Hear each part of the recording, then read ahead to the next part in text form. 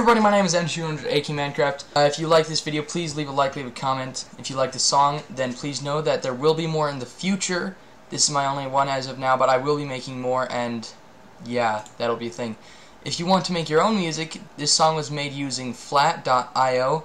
It's a really nice web program that I used, and I like it a lot. You should go check them out. Anyway, thanks so much for watching this video. Goodbye.